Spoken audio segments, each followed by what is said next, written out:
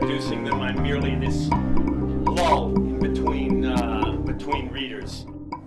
The book's called Hannah and the Mountain Notes Toward a Wilderness Fatherhood. A home pregnancy test sits on the windowsill. We sit on the edge of the bed, hunched over the wood stove in our coats and stocking hats. Pink dawn is rising over the mountain.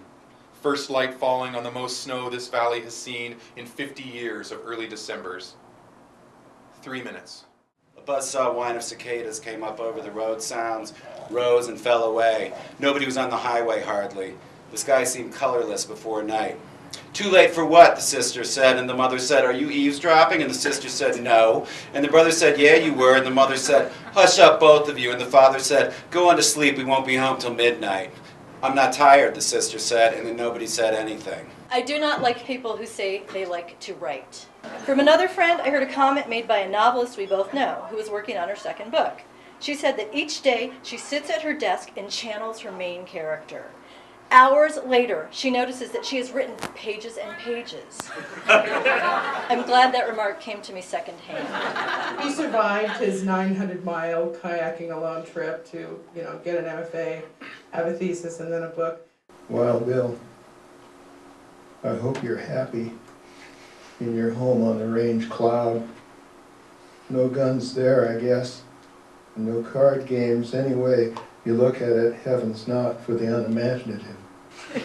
Have you met Trigger yet? I just want to point out that the one thing I asked Amy did was to not put me after Chris. Because he's a really tough reader to follow. So good. Uh, I designed researching and writing in the field for Yellowstone after several years of coming here to do my own research.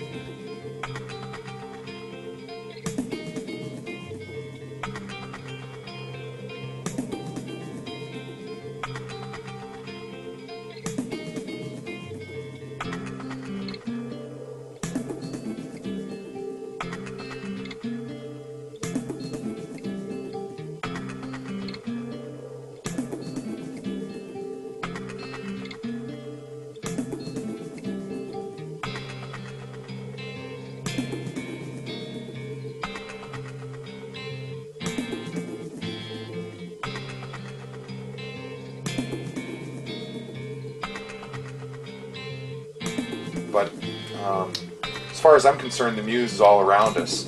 And you don't have to come to Yellowstone in order to find a muse. But coming into wild places um, that have their own drama and that go on with or without us is a useful reminder that the world is a muse.